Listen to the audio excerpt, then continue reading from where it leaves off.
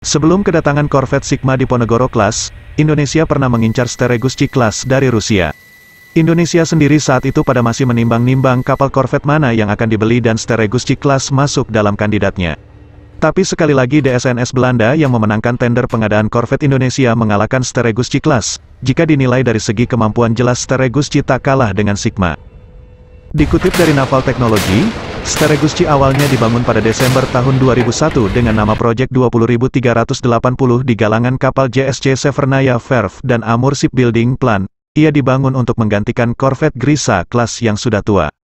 Grisa kelas sendiri merupakan kembaran dari korvet Parhim TNI Angkatan Laut. Lima tahun dibuat Steregusci pertama lantas diluncurkan tepatnya pada Mei tahun 2006 dan bergabung dengan armada Baltik Rusia.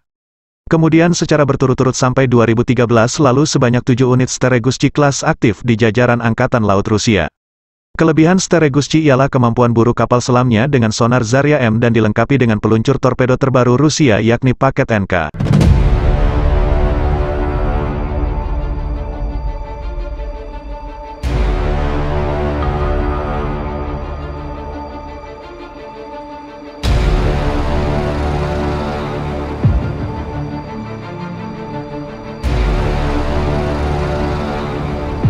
Kemudian untuk menyapu sasaran di permukaan ada Granite Central Scientific Institute Garpun.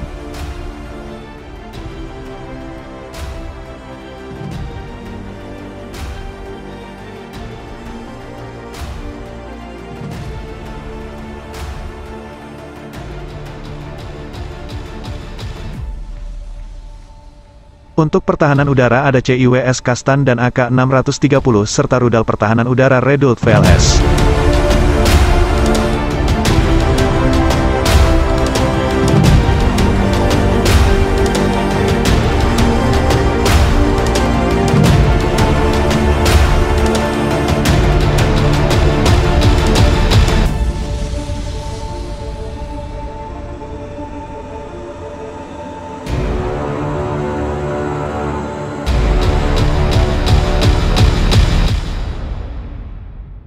Jelas rudal dan jet tempur musuh tak bakal berkutik dengan apa yang dibawa Steregusci.